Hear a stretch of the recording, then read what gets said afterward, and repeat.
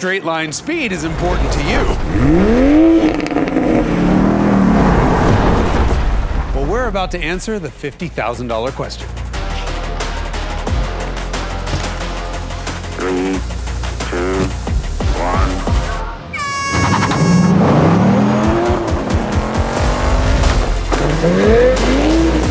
In the American corner, it's Ford Mustang Mach 1. In the Japanese corner, the Toyota Supra.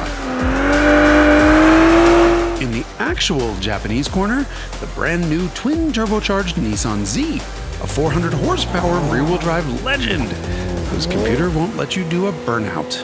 Hmm. Uh uh No need to hit the fast forward button because the action starts now.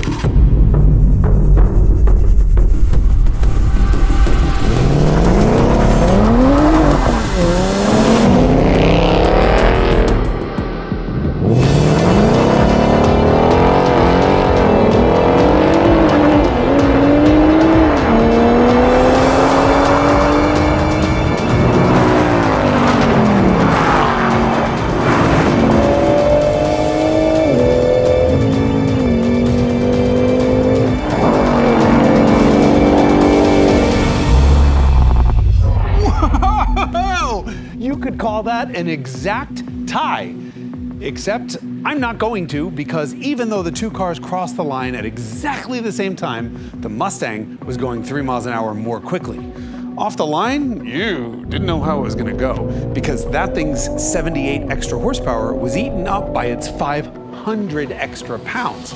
But once the tires hooked up and its dim-witted 10-speed automatic finally figured out what to do, well, horsepower wins again. Meanwhile, the Supra is just an overachiever because the Supra is a BMW and it does everything you ask of it every single time. So it puts all the power down, the whole shot's perfect, every shift is perfect. Well, and here we are. Doesn't hurt that it weighs 260 pounds less than the Z. That's really not all that far. The Z's big issue is traction off the line. Michelin, Michelin, Bridgestone. But it has launch control and it incinerates the rear tires when the launch control works, which isn't all that often. It burns out the whole way through first gear and then slam shifts into second, which is awesome, and then bangs into third and keeps the wheel spin going. But by 60 miles an hour, it's already two tenths of a second behind the other two cars. Then it finally hooks up. That's where the horsepower kicks in, and well, it stays right behind them the rest of the way through the quarter mile. Uh, that's all well and good, but there wasn't a clutch pedal in the bunch. Luckily, the Z is available with a six speed manual. It trades the automatic's complicated to engage launch control in favor of a no lift shift program.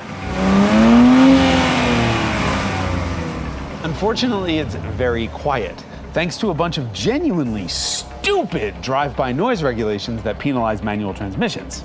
Uh, Nissan chose not to fix this problem the way Porsche has by putting annoyingly long gear ratios in. Instead, they installed a very quiet muffler. And that is a very easy thing to fix.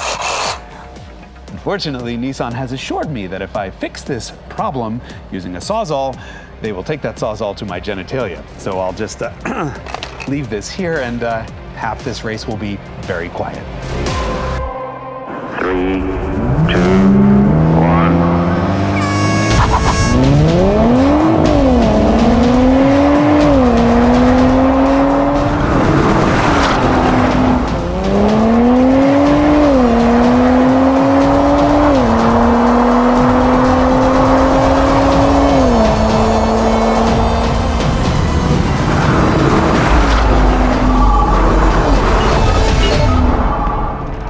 Thanks to that gearing, the 6 speed manual is only 3 tenths behind the 9 speed automatic to 60, which is about the time it takes to make the 1 2 shift. The lead grows to half a second by the quarter because the Mercedes sourced automatic's gears are shorter and more closely stacked. As a result, the automatic car's rear wheels experience on average 10% more torque than the manuals over the course of the quarter mile, so it wins by a small margin. For the record, both of them would have crucified Nissan's old 370Z. The new Z is in an entirely different league of speed, one occupied by another two seater that's exactly the same size, and the same horsepower, and the same torque, and the same weight. You know where this is going, right?